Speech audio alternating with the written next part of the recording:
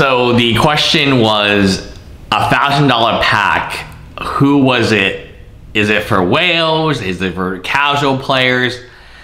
The Magic 30th anniversary, we I finally figured out who this product is for. It's for people like Hunter Pence. It's for famous people. It's for influencers. It's for anybody on Twitter who cancels people. These products are being given for free because they're the best marketing you could ever give. I mean, you want Post Malone? Hey, Post Malone, you want to open some packs with us? How many packs you want? You want them all? Okay, here you go, Post Malone. And of course, he's going to have fun because it is a fun product to open. But at a thousand dollars a pack, my understanding is the majority of these packs will be given for free as promotional as promotional packs for wealthy, famous people. The more famous and the more wealthy you are, the more promotional packs they want to give you. So you post on your, I saw Hunter Pence. Hunter Pence has a store in Houston. So I know a little bit more about Hunter Pence than you would know because obviously his store, Coral Sword, is a competitor. They're the ones who sell the uh, $10, $12 chicken tendies and the cafe and they have a dog park or something, you know, outside they do it the right way. They do it in an incredibly good way. Uh, the Coral Sword in Houston, owned by Hunter Pence and his wife. I believe her name is Alexis, but she's also a social media influencer. So Hunter Pence has some cards. He's showing off. Cassius Marsh has some cards. These cards are not, the majority of these $1,000 packs are not meant to be sold to the public. They're meant for Brian Kibler to get like a hundred thousand of them so he can open them and promote them for Hearthstone. They're meant for Hunter Pence to open them on the Instagram and promote them. They're meant for Post Malone to throw them out at a concert party, right? Steve Aoki will probably somehow be involved in this. I'm sure he's got pallets of this product coming in. This product is not meant for customers. It's meant for promoters, influencers, anyone they considered um, a benefit. Like, oh, they opened the pack, they got a really good hit. Now they're going to promote, now they're going to post it on Instagram, which makes 100% sense now what this product is. This product is not for the ordinary person to buy because this product should never be, for nobody's going to buy the product. It's just only going to be reprinted and given to famous people who can then tell their audience. Most of the audience will be non-Magic players. You look at Post Malone, look at Hunter Pence, a baseball player. You look at Cassius Marsh, a football player. Their audience is probably less than half, I mean, it's not even I mean, their audience is almost no Magic players, I would assume, because they have so many people who follow them. You look at how big their social media is. You give, I mean, Mr. Beast, right? He did the MTG Arena thing. Just give him a bunch of packs. He's going to love opening it because he loves high expensive stuff. You give some packs to Card Collector 2, you give some packs to people in the sports card industry, and you tell them, oh, this is a thousand. It is exactly what Gary Vee did with his NFTs, his uh, Gary friends. He would give everyone, he give Card Collector 2, he give Sasha T, he give everyone who is anyone on YouTube or Instagram or anyone, he would give them a free box of Gary Vee friend cards and they would say, oh, this box is a $2,000 box or a $5,000 box. And then they would open it with Gary in person.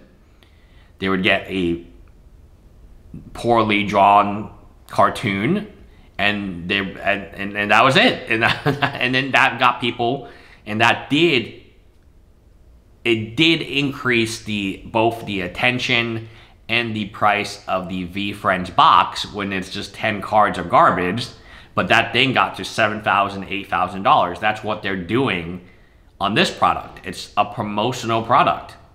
It is not a product meant to be drafted obviously it is not a product meant to be opened by the normal Magic player. It's a product that made a lot of Magic players like quit. Frankly said, it is a product that is only meant to be given for free. And the $1,000 price tag is so the people who are receiving the product feel really good about it. That's the play. That's always been the play. That was the play from day one, and now it's obvious as you see these famous people on social media who clearly they have not been, they're not being. I mean, clearly they, they make enough money that a thousand dollars isn't that big of a deal for them, but they're getting packs early. They're opening packs. They're do, sharing videos of them. You know, they're creating this buzz and excitement around Magic to a demographic that is not Magic players it's kind of like what they did with Savjz, right? He was the only person with any following, and the Magic Pros they attacked his wife. It was very savage what they were doing because the Magic Pros do not have any following. So the MPL, the Magic the Gathering, had allotted a hundred thousand cash. Oh, not hundred thousand, a hundred million cash for ten years to support that program.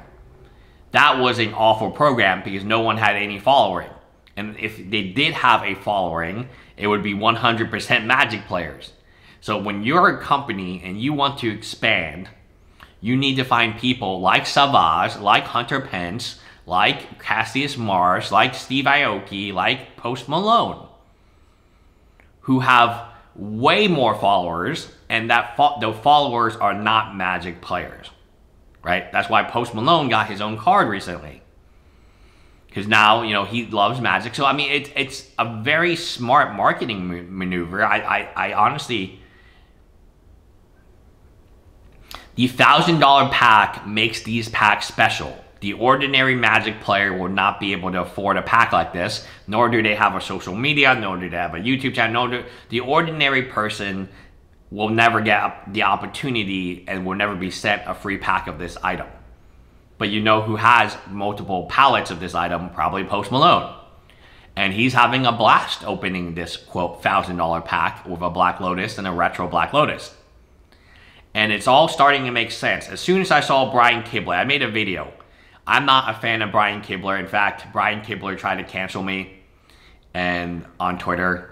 Thank God Elon Musk owns Twitter now, so I can actually fight back against the Twitter trolls I feel more confident because 3,700 employees got fired from Twitter. Most of, I think all the content moderation team got fired. So I'm feeling really, really good, right? About Twitter. I might be more active on Twitter soon.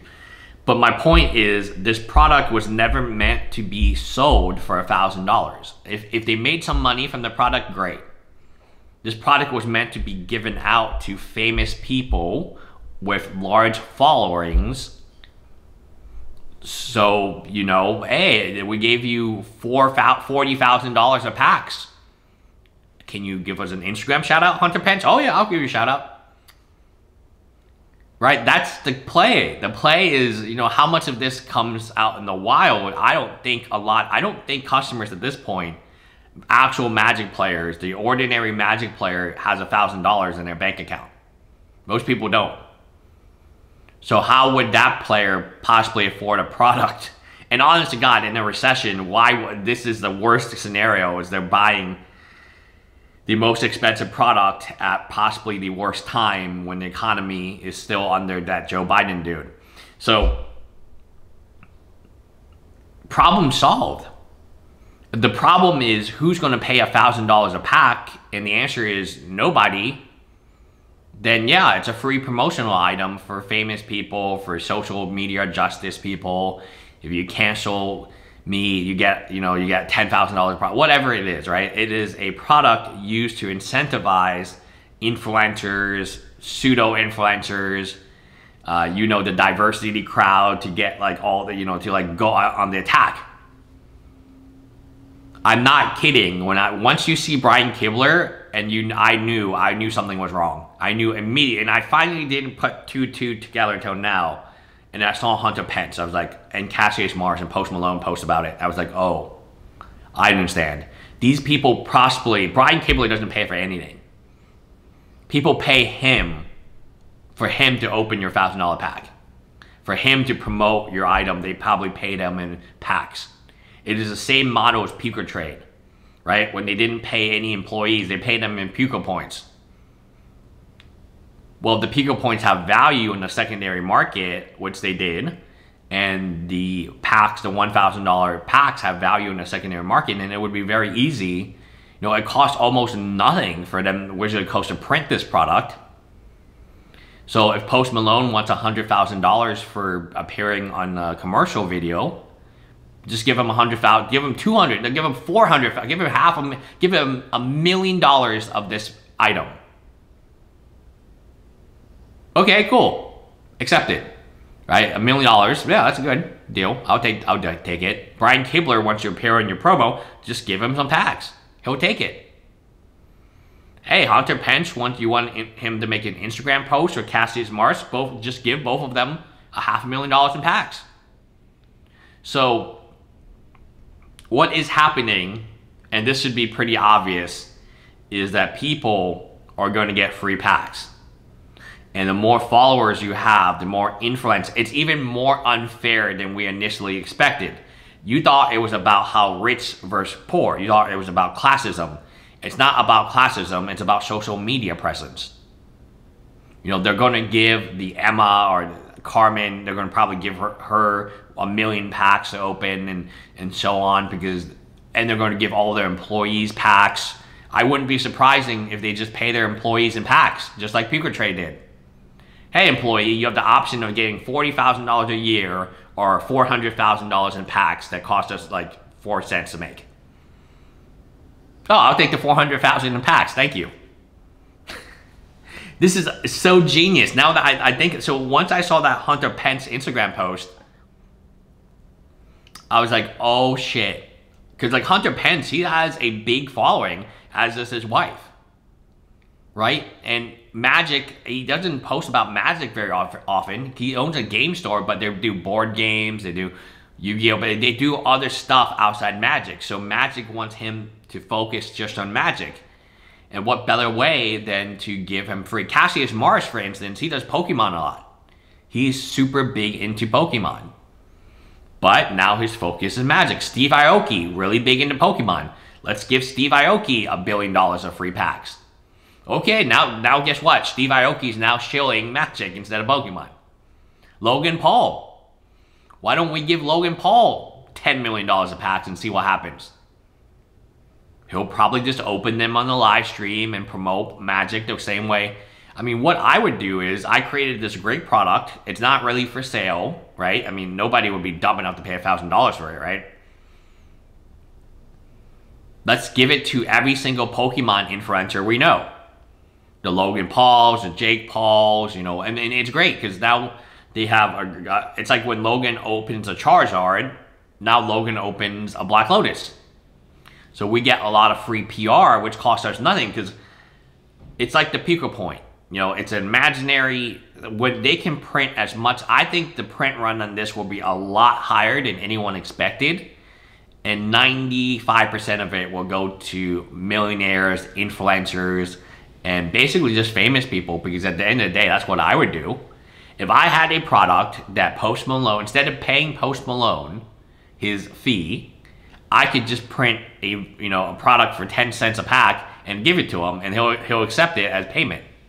And not only will he accept it as payment, he'll open the packs on live stream. He'll, you know, promote it. You know, he'll talk, make tweets about it and so on.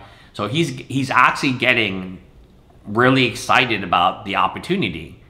And I just I just continue to feed him packs. He, he doesn't really need to do stuff for me. I would just continue to give him packs. I would give Steve Aoki packs. I would give uh, Logan Paul packs. I would give, you know, anybody with a Twitter following of more than like 10,000, I would just give them as many packs as they wanted. You want a million dollars pack? Here you go, here you go. Because it costs me nothing. It costs Wizard of the Coast nothing to print these packs. And the $1,000 price point only makes sense, and it makes a lot of sense if you think about who the price point is actually the reason that we need to make this a $1,000 a box, which is four packs, right, is we need Post Malone to think that it's very valuable. We need Cassius Marsh to think it's valuable. We need Hunter Pence to think it's valuable. We need Savjz, we need Brian Kibler to take his payment in packs. And that is the secret sauce. Very smart. You know, I give them all the credit. This makes 100% sense to me now what is going on we were never supposed, even the whales were never supposed to actually buy these packs. These packs are being given out for free as we speak. In fact, right now, the only way you can get them is for free. Bye, guys.